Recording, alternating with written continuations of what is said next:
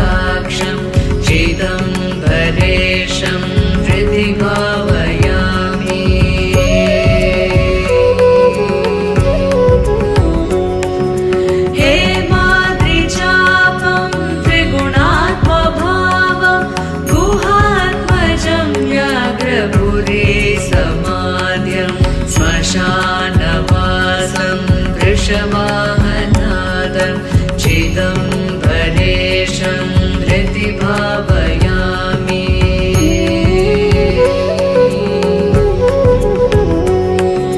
आद्यन्तशून्यम्। आद्यन्तशून्यं त्रिपुरादिषम् मोख्य स्तुति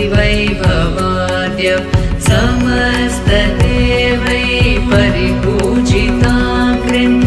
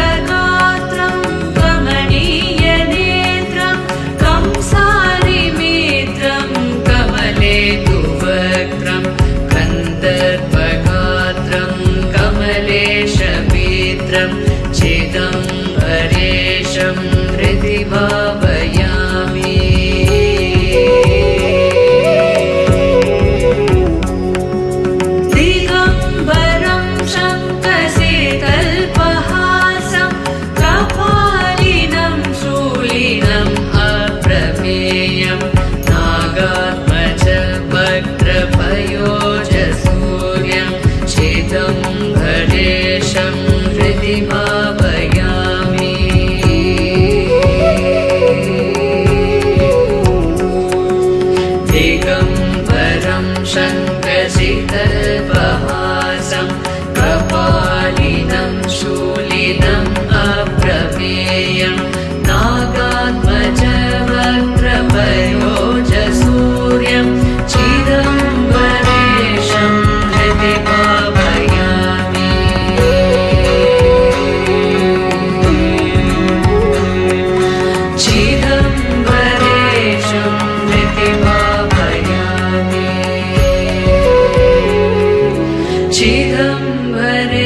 हृदि भावयामि